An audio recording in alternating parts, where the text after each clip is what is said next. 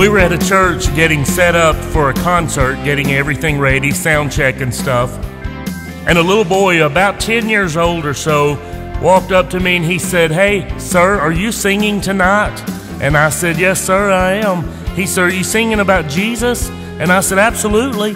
He said, What about that man that uh, died in the Bible and uh, when Jesus hollered at him, he got out of the ground? I said, Are you talking about Lazarus? He said, Yes. He said, I learned about him in Bible school. And he started telling me other things, and he mentioned about uh, the guy that had Legion. He had all of the demons, and how when everything was done, he wanted to go with Jesus, and he was in his right mind. And he was telling me all of these stories he had learned in Bible school, and it was amazing.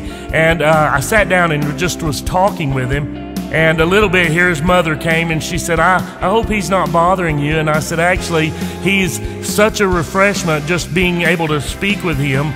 Young boy, but he was excited to know about Jesus. And it was funny because he said to me, He said, Are you friends with Jesus? and I said, Yes, sir, he's my friend. I said, He's my Redeemer. He is the reason that I'm here. And you know, I love knowing that the message that I have to share is a message of hope, of joy, life changing, and it's about Jesus, my friend.